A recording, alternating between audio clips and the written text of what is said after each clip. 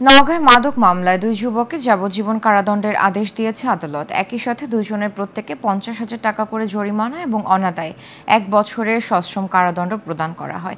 আজ অতিরিক্ত জেলা ও দায়রা জজ আদালত দুইয়ের বিচারক হাসান মাহমুদুল ইসলাম এ রায় ঘোষণা করেন। আসামিরা হলেন চাঁপাইনবাবগঞ্জ জেলার শাহজাহানপুর ইউনিয়নের নরেন্দ্রপুরের মোল্লাপাড়া গ্রামের সাইদুর রহমানের ছেলে জুয়েল রানা। একই গ্রামের আমির হোসেনের ছেলে বাবু।